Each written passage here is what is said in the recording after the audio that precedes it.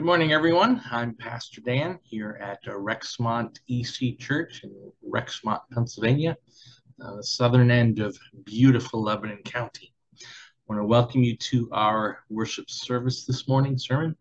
Uh, we are continuing this week in our potluck sermon series where members of the congregation can uh, give me some ideas as to what they want to, to hear when I preach on uh, whether a favorite Bible story or a favorite passage of scripture or a passage of scripture that they don't understand that they'd like some teaching on, um, things like that. so we are going to be looking today in uh, Genesis chapter 11, uh, the story of the Tower of Babel. I think it's a very powerful message for us today uh, in our particularly Western, particularly American society, for us to pay attention to some of the things God has been saying since before recorded history. we want to begin by, I just want to let you know and talk to you a little bit about the tallest building in the world. the tallest building in the world is, of course, the Burj Khalifa in Dubai. It is 2,722 feet high, just over half a mile high. It's in Dubai. I had the opportunity of going, uh, traveling through Dubai once on my way back and forth to Kenya. It was like 118 outside, and so I didn't even leave the airport. Um, but that this is where uh, the Burj Khalifa is. Uh, just to put it into a little bit of perspective and reference, um, if any of you have been to New York City and been up the Empire State Building, the Empire State Building is massive, 1,454 feet. So it's about half the size of the Burj Khalifa. A massively, massively tall building. And there is something just really impressive about tall buildings. Uh, because when a society can build something like that, it represents power and success and achievement. And it, and it usually means something is going on, something's going right for those that build it. Today's story, we are going to see what became of the people who went out and uh, on the earth after the flood. And we're going to learn about the Tower of Babel. Now, uh, just a little background Noah and his family um, were cooped up in the ark for quite some time. We know the the flood waters, the storm lasted 40 days and 40 nights, but we know the flood waters receded much more slowly. The Bible tells us that they were in the ark for over a year. And so I'm sure, having been cooped up in the ark for that long, they were looking to get out of the ark as soon as they could. And uh, when they when they finally did come out of the ark, God gave them some instructions. Genesis chapter 9, verse 7, God tells Noah and his family. He says, As for you, be fruitful and increase in number, multiply on the earth and increase upon it. Um, and so basically, he's telling them, Here's what I want you to do I want you to, to repopulate the earth, spread out. Uh, you've got lots and lots of land available. So let's look some of the, the major elements. First of all, Noah's descendants began to spread out. Uh, God's command there in Genesis 9 7 was for them to be fruitful and multiply. And we see in chapter 10 of Genesis, they did just that.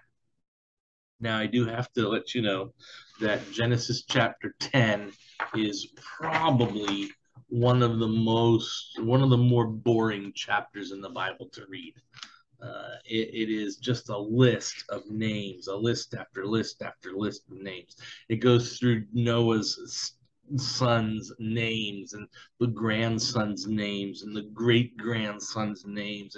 It lists all of the nations of the world that, that resulted from each grandkid. It's it is very dry. There's no cutting edge dialogue. There's no spellbinding story.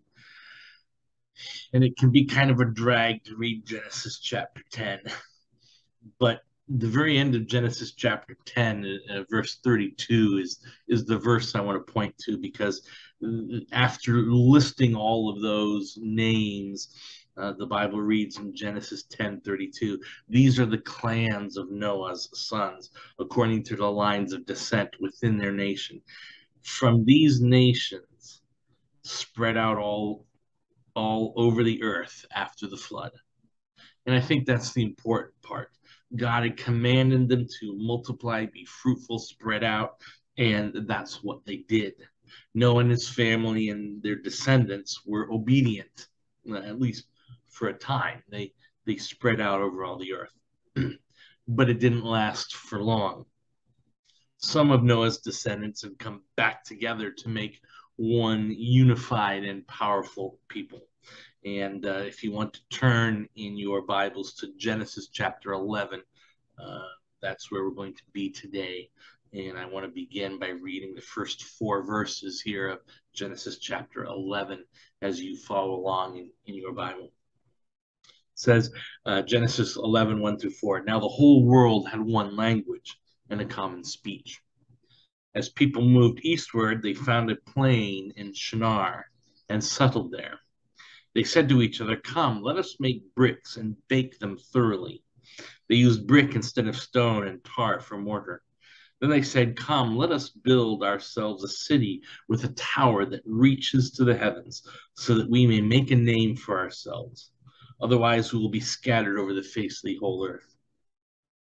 The, the people had settled near Shinar, uh, uh, some plain, and rather than spread out like God had said, they wanted to stay together and build power for themselves.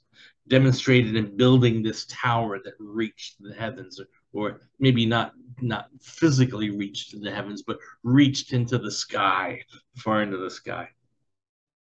Notice their motivation in in uh, verse four. Let's make a name for ourselves.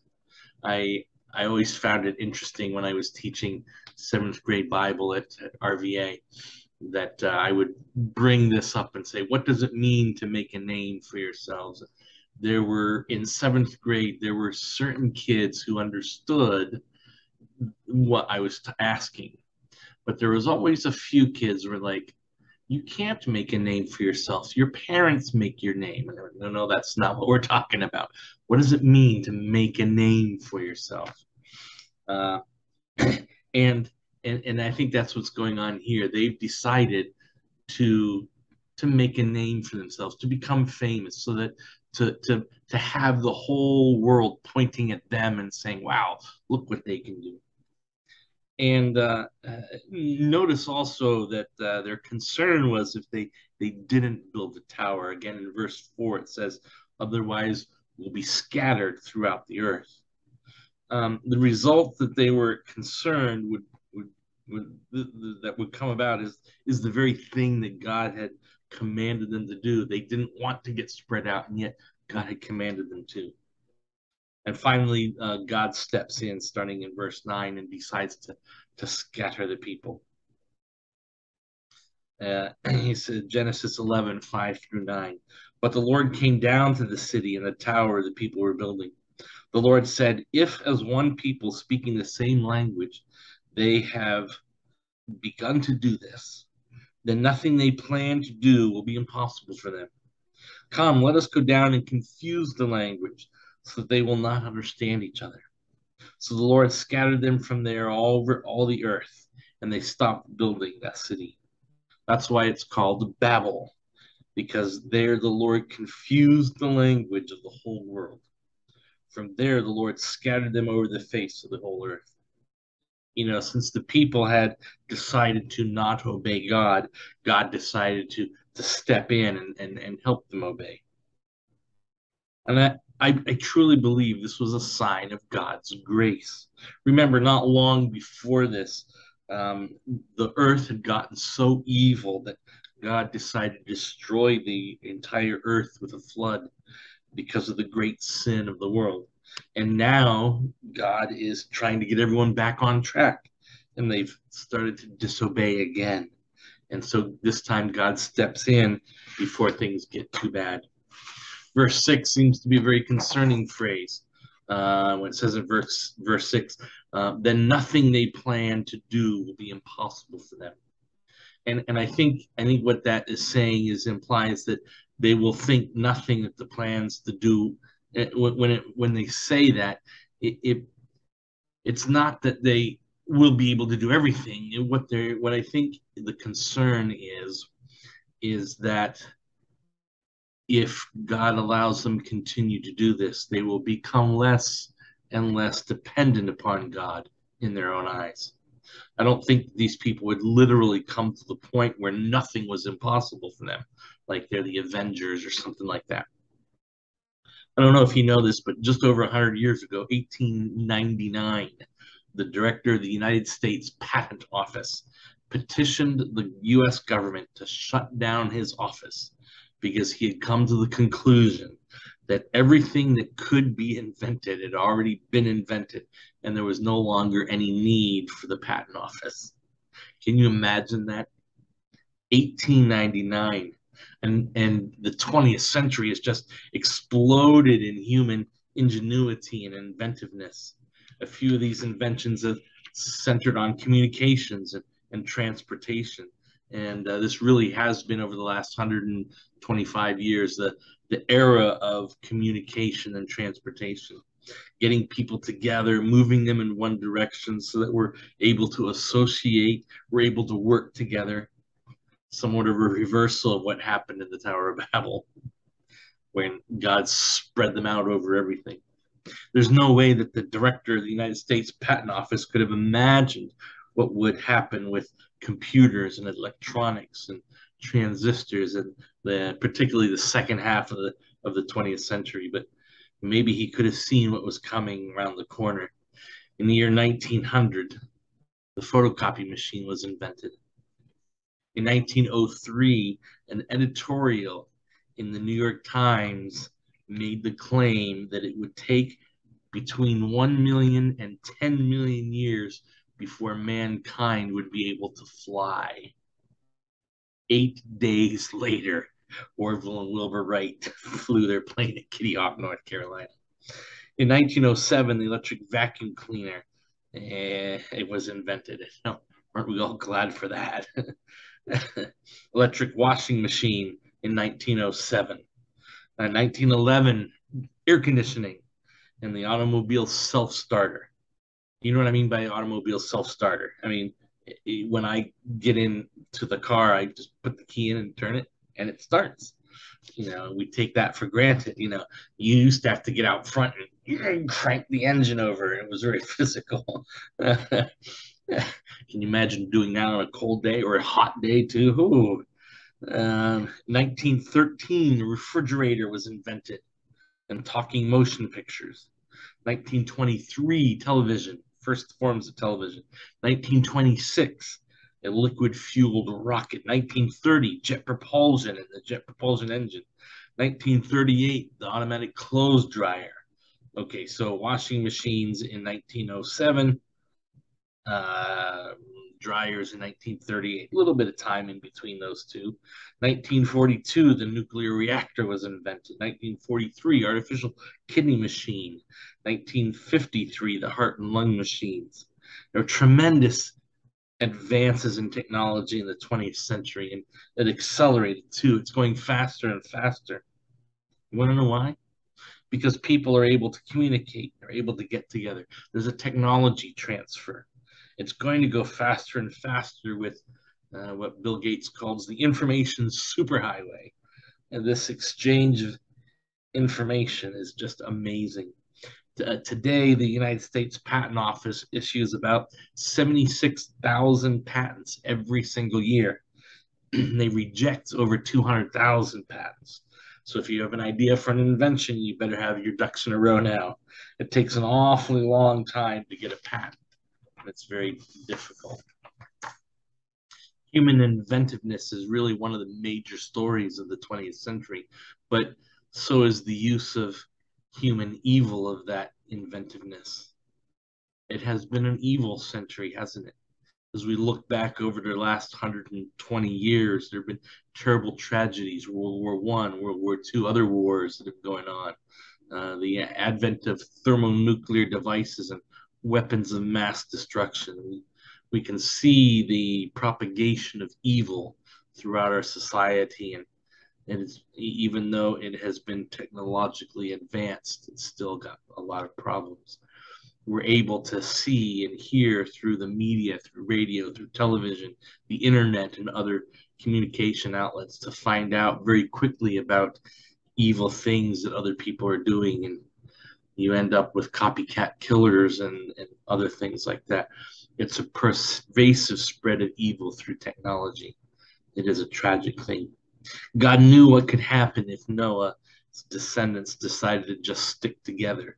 It would cause problems. So God decided to take care of the problem by confusing their language and then help them scatter again like God had commanded them to do in the first place. According to the Bible, the name of the place is called Babel or Babylon in, in, in Aramaic, Babel in Hebrew, because that word sounds like the word for confusion. In the story, the Tower of Babel, we find uh, a few major truths about our world. Uh, the first major truth is that self sufficiency is not what humanity needs. What we really need is God, not ourselves. God satisfies our needs. Philippians 4 19, and my God will meet all your needs according to the riches of his glory in Christ Jesus. Psalm 55 22 Cast your cares on the Lord, and he will sustain you. He will never let the righteous be shaken.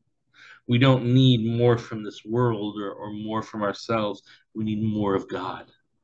He will supply all our needs, He will sustain us. Humanity sometimes thinks that we can become more advanced and more educated and more cultured to the point where we can handle things on our own. I remember back in the early 80s, Time Magazine having the article, have um, front page article, uh, God is dead. We don't need him anymore. As smart as we think we are, we're not smart enough to realize that all we have to do is look around and realize we don't have everything under control. Proverbs 14:12 There's a way that appears to be right, but in the end it leads to death. Self-sufficiency is not what humanity needs. Second, no purpose of God's can be thwarted. God's plan for humanity is that they would spread out over the earth and be fruitful and multiply.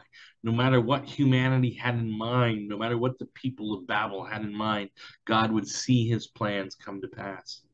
When we think back to Job, and he learned this uh, about God after 41 chapters of him learning about who God is. Job 42 2, Job says, I know you can do all things. No purpose of yours can be thwarted. To thwart something means to oppose it or, or prevent it from happening. No plan of God's can be opposed or prevented from happening. I should have mentioned this last week in my sermon about Abraham and Isaac. I had said that Abraham needed to decide whether he was going to follow God or not. And it was a watershed moment in history. And I posited the question what would have happened had Abraham not chosen to take his son up that mountain? And I, I mused that you know maybe the nation of Israel wouldn't have existed. And if and if Israel hadn't come about, what would that have done to the birth of Jesus? But just like here in, in Babel and, and in Job, in Abraham's circumstances, the plan of God would still come to pass. If Abraham had chosen to disobey God's God, God's plan would still have been fulfilled because nothing can thwart God's plan. And that goes for today as well. God's plan will succeed. God has a plan for you, for your family, for this church, for the the city of Rexmont, where we are, for Lebanon County and Lebanon Town, for this entire world. And that plan will succeed. You're going to want to join God in his plan. Things will go much better if you do. Finally, God has a, a global plan. Remember, God said, Be fruitful and multiply. God wanted his people to occupy the whole earth. All the people of earth descended from Noah. That means all the people of earth belong to God. God loves the variety of his created people. All this time on earth, God doesn't want us all hooked up together with one language, one ethnicity, one culture, one location. He wants he wanted us to spread out and be fruitful and share in each other's burdens and and and share in each other's cultures. More than that, God has a plan to see all people from all over the earth come to him in worship. Matthew 24 14, Jesus says, And this gospel of the kingdom will be preached to the whole world as a testimony to all nations. And then the end will come. Jesus says in Acts chapter 1, verse 8, You'll receive power and the Holy Spirit comes on you, and you'll be my witnesses in Jerusalem and in Judea and Samaria and the whole ends of the earth.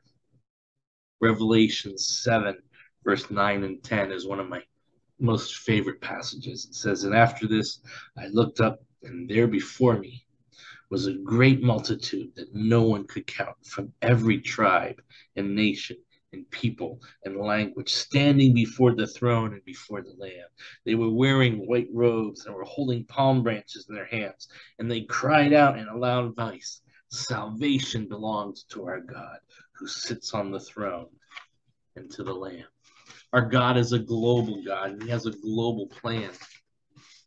The plan is not only for physical flourishing of people all over the world, but for spiritual rescue of people from all over the world.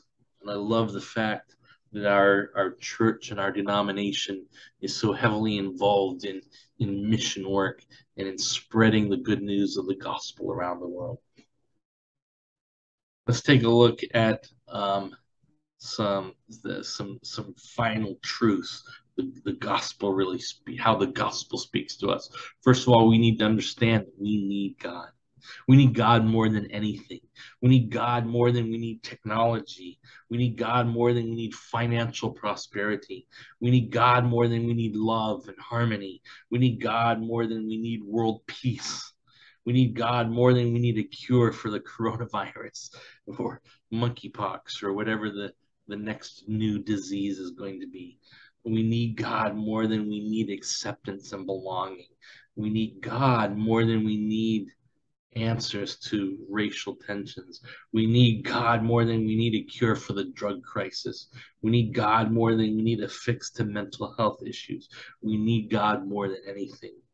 And when we discover that we need God and we seek Him out, all of these things God will provide.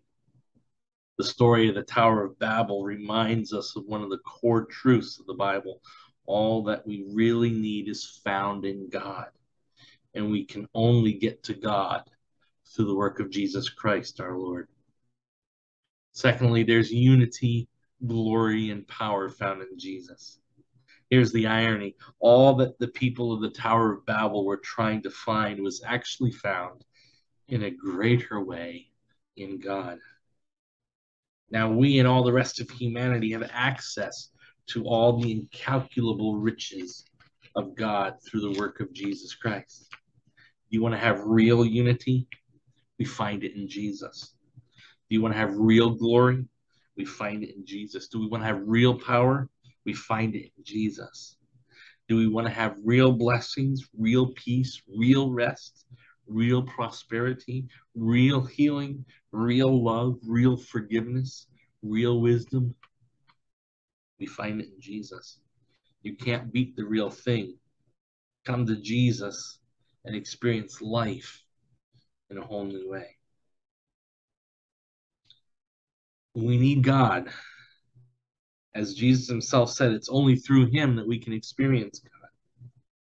Let's let the story of the Tower of Babel remind you this truth as is summarized in our bottom line.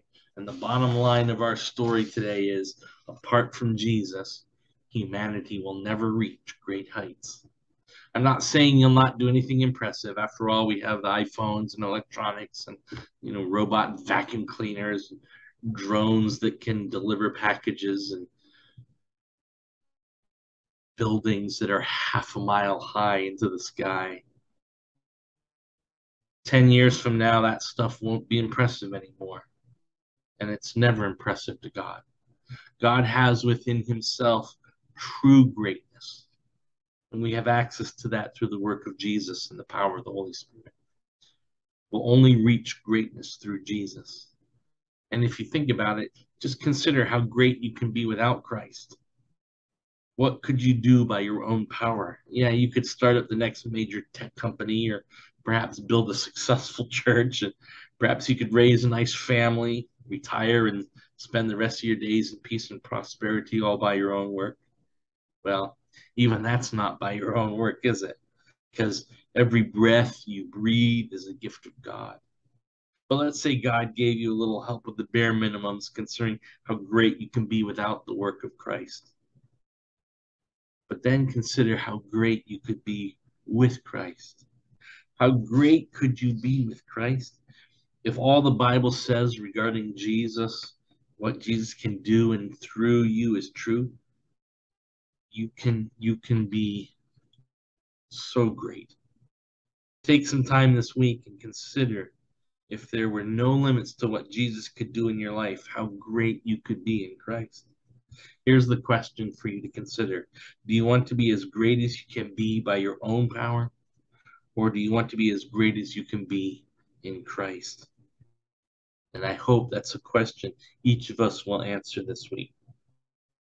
And let me give you a the, the, the answer. There is no limit to how great you can be in Christ. So choose wisely.